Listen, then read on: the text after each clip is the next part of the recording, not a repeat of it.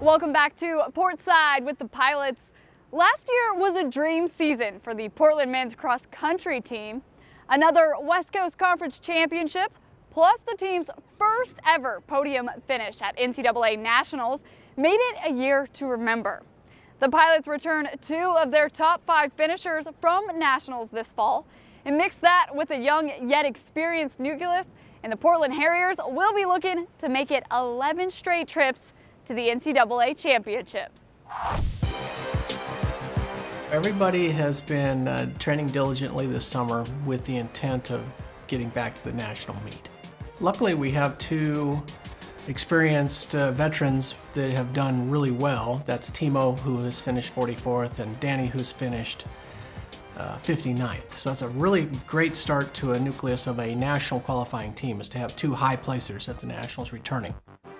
Looking at last year, since we lose five out of our top seven, people don't expect much from us, I'm, I'm assuming so. So it'd be nice to just prove those people wrong. It should be something to look forward to, to be honest. I don't have to motivate the team. The team's already, you know, highly motivated. Um, first of all, that they're getting their chance this year. It's wide open. We have a wide open team. We have two returning guaranteed guys, and then we have five spots open on the varsity. So the team's motivated, ready to roll. Looking at last year, I think I was about 10 seconds off of being an All-American. So, I mean, I was happy with last year's race, but then when you look at that, it's kind of like, you know, you know, I was right there. It just put the, puts things in perspective to think, you know, if I did that last year, I honestly think top 20 is a, a reality.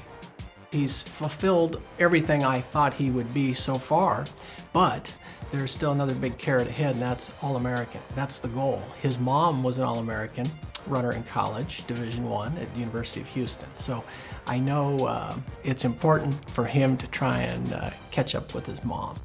My mom was an All-American. I actually saw her All-American certificate right before I left, and I kind of, I think it was 1988 at the University of Houston. So I just looked at that for motivation before I came back. And my dad, um, he did, he ran marathons. His best finish, I'd say, was uh, was ninth at the Olympic trials. I think in 90, I think it was 96. I want to say.